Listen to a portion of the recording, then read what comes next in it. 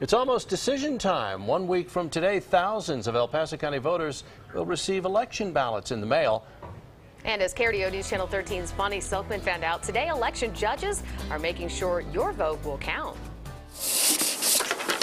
After a few quiet months, things are kicking up a notch in the elections office. Today is kind of a big kickoff for the election because we are doing that logic and accuracy testing for the public so that they know our elections are going to be conducted correctly and accurately.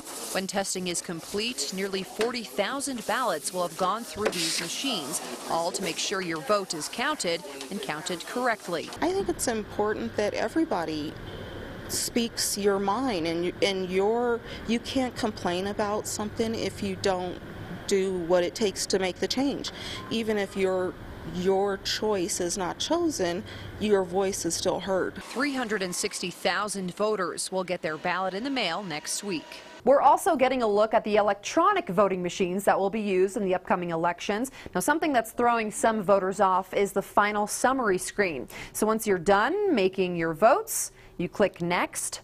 Then you're going to see these two red boxes pop up. They both say no vote cast. However, if the top two boxes are white, that means your votes have been counted.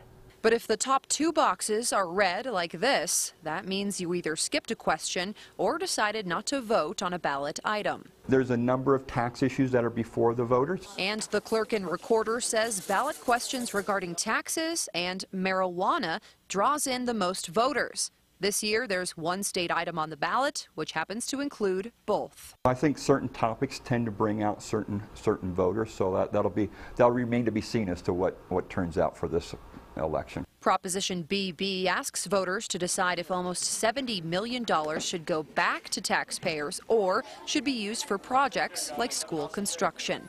In Colorado Springs, Bonnie Silkman, KRDO News Channel 13. Now, to get a copy of the El Paso County sample ballot, you can just head over to krdo.com. It's a